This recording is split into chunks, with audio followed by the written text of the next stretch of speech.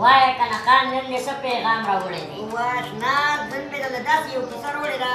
په دې وړو حجره کې زموږ د نوکار د خان صاحب حمیدالله راغلی دی او بلالي اتم ډېر ورځې پس دې وړې حجرې ته راغلی بلبل به سره پوهېږي خو نن درته زه داسې کیسه کوم زموږ په بنیر کې شو وه نو بابا به روزانه راتلو ما نه د اجراګانو شو په هغه باندې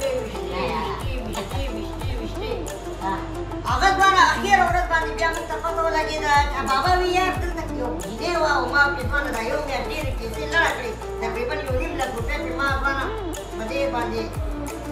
وړاو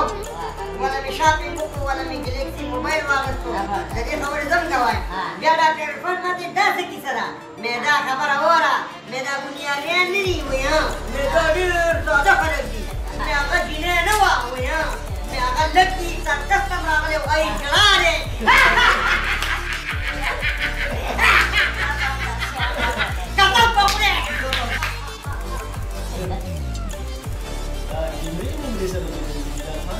وصادقون تعالى فتلي دا عطاء الله جان چینل دی په یوټیوب کې عطاء الله جان ټول په نامه باندې او دا چې کوم دی دا غي لګېدلې دي ورته تاسو راغلي هغه د مصیبت